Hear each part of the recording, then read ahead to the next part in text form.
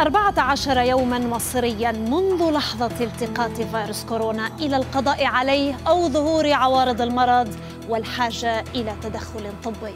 في اليوم الأول الذي يدخل فيه الفيروس الجسم يعمل على خداع الخلايا لتكرار نفسه يشعر المريض عندها بعوارض خفيفة مثل الألم في الحلق. اليوم الخامس هو متوسط فترة الحضانة والانتقال من الإصابة إلى ظهور الأعراض. ومن علاماته الشعور بالتعب ارتفاع متوسط في الحرارة السعال وفقدان الشهية. في اليوم السابع تبدأ آلام الصدر يزداد ضيق التنفس وتصيب الحمى مصحوبة بآلام مختلفة أعضاء الجسم. عند هذه المرحلة الدقيقة سيحتاج المريض إلى تدخل طبي عاجل. مع الوصول إلى اليوم الثامن تتفاقم أعراض متلازمة ضيق النفس الحادة. وتستمر الحمى والسعال من دون توقف إلى جانب صداع شديد وألام في المفاصل والظهر. في اليوم العاشر شانتال تتطور صعوبات التنفس لدى المريض مما يستدعي نقله فورا إلى العناية المركزة.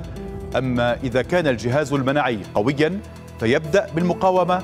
تتراجع حدة العوارض ولا ضرورة لدخول أو البقاء في العناية المركزة.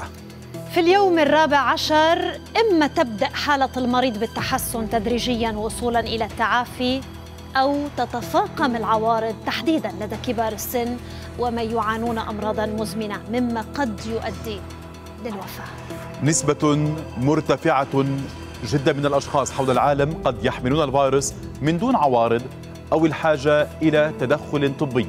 ولكن من أجل الآخرين يجب الالتزام التام بإجراءات الوقاية وفي مقدمها الحجر الصحي. نناقش هذا الموضوع تحديدا هذه الرحلة روبير مع ضيفنا اليوم من القاهرة أستاذ اقتصاديات الصحة وعلم انتشار الأوبئة الدكتور إسلام عنان. دكتور إسلام أهلا بك معنا دائما في سكاي نيوز عربية. رحلة تستمر 14 يوما. هل بات واضحا؟ لماذا تختلف بين شخص وآخر؟ مساء الخير عليكم. مساء الخير مساء النور. أستاذ شانتال روبير.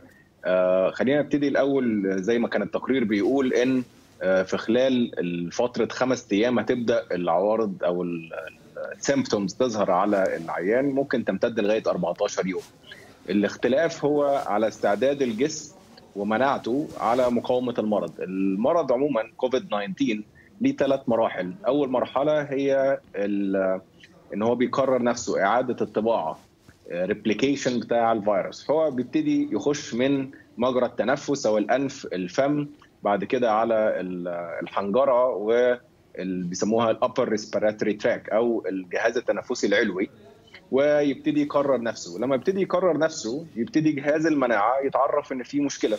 لذلك الأعراض بتبدأ دايما باحتقان والكحة الناشفة وكل الجهاز التنفسي العلوي. آه ساعتها الجهاز المناعي يبتدي يحاول يقاوم. الجهاز المناعي للأسف لما بيقاوم آه فيروس زي ده بيقاوم الخلايا ال ال الفيروس نفسه وخلايا الجسم نفسها. فيبتدي يخش في المرحلة الثانية اللي بيسموها آه النشاط الزائد للمناعة ال immunity hyper activity ودي المرحلة الثانية اللي بتتميز إن بيبتدي بيبقى فيه سائل في الرئة ويبتدي المناعة تقتل الفيروس وبتقتل معاها الخلايا بتاعة الرئة.